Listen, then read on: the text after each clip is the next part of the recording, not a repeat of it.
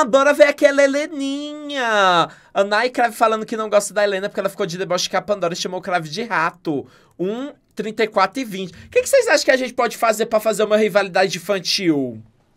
Helena. Ninguém gosta Helena? dessa Helena, né? Incrível. E rato, porque é pequeno. É, é a mesma que riu da Pandorinha. Não gosto dela. Eu não gosto O dela cravo também, muito não. Ela fofo. riu da Pandora, sua prima. Ela riu da Pandora?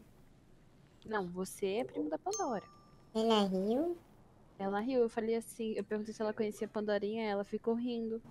De risada de deboche. Eu vou passar meleca nela. Oh, É Essa Canela. mulher é canela, né? Sim. Então, Alguém tem um momento dessa Nela, rivalidade não, com- do Crave com a Helena? Ele gosta dela, esse moço aqui. Eu também vi ela hoje. Eu bem falei, vamos bola, não quer ficar assim. Uhum. O Crave é muito fofo. E aí ela, ela falou que você parecia um rato. Sim, É. A gente não gosta dela. A Helena que explora. Eu prefiro. Eu prefiro É porque eu acho que eu vou levar a ban, gente. Se eu pegar essa criança e esbagaçar com ela.